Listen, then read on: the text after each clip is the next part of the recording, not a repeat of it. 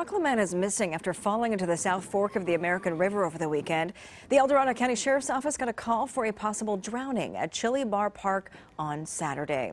They say 28-year-old Mateo Rios disappeared under the water. He was not wearing a life jacket.